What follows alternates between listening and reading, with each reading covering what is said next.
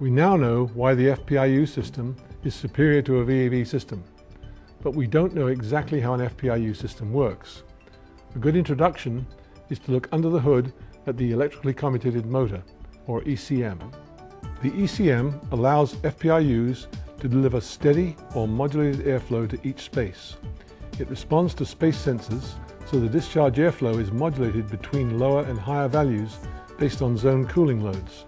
This response is made possible by a computer chip that ensures greater efficiency over the motor's operating range and eliminates the need for a variable frequency drive. This provides an automatic response as tenants reconfigure their space or add heat generating equipment such as computers or copiers. The total cooling capability is the summation of the conditioned primary air and unit coil capacities at the scheduled airflow. However, unlike the original carrier induction system design, the FPIU can deliver sensible cooling independently from the primary airstream. Each FPIU meets approximately 1 watt per square foot of lighting, typical solar, and building shell loads, and 2.5 to 3 watts per square foot of miscellaneous or plug loads. In addition to cooling, FPIUs can also modulate a heating source, such as a unit-mounted heating coil or perimeter fin tube radiator. Mixing an optional heating coil with outdoor air results in an 85 degree Fahrenheit discharge temperature during the heating season. For the summer, mixing the cooling coil and outdoor air results in a 60 degree discharge temperature. Another technical aspect to discuss is dew point maximum value. Dew point is a combined measure of temperature and humidity levels. An FPIU is built to maintain a consistent dew point of 55 degrees from the primary ventilation air. The secondary chilled water supplied to the coils of the FPIU is also 55 degrees. This results in dry coils and eliminates the need for zone condensate drains.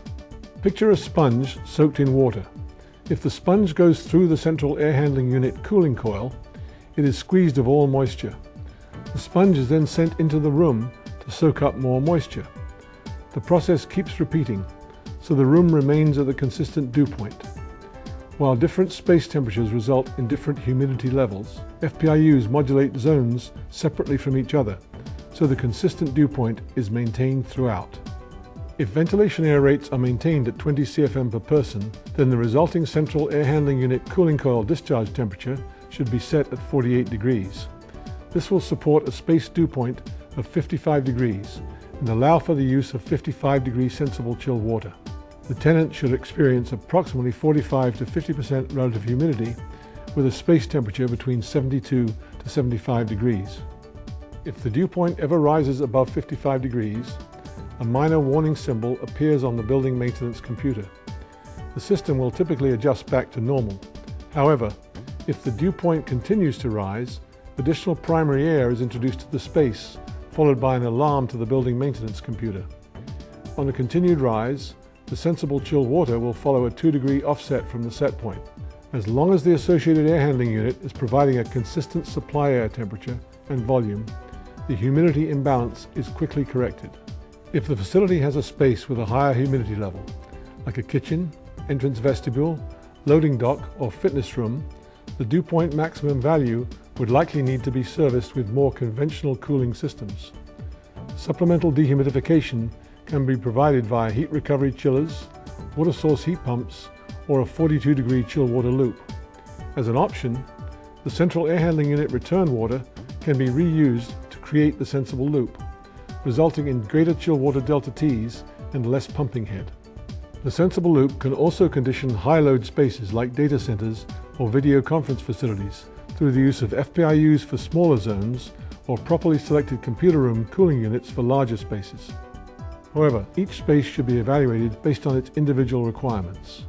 Note that primary airflow rates may override code minimum ventilation or pressurization criteria, such as in a health clinic.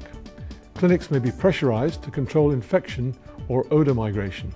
Also, some spaces may exceed the FPIU's primary air damper capacity, such as conference rooms with greater than 25 person occupancies. As a result, those spaces may require supplemental airboxes or two FPIUs, not for sensible loads, but to maintain the latent removal requirements of 20 CFM per person.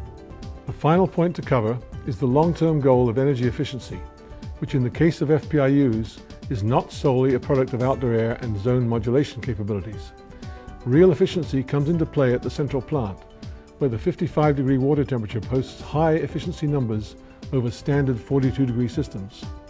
The higher sensible temperatures allow for more efficient chiller operation, the use of extended waterside economizer hours, and the implementation of relief air heat recovery. So not only do FPIUs provide individual control over every zone of a floor plan, the long-term energy savings and superb air quality greatly contribute to both the financial health of the facility and the personal health of the tenants. At Southland Industries, we are committed to promoting FPIU systems for our clients.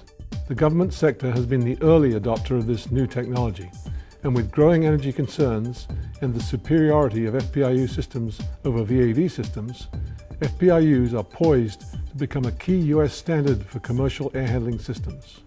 By taking the lead in implementing fan-powered induction units and training our employees in their function, Southland believes that we can support our customers' desire to achieve energy efficiency and functionality for their facilities. Thank you for taking the time to learn more about Southland Industries and our support of the fan-powered induction unit system.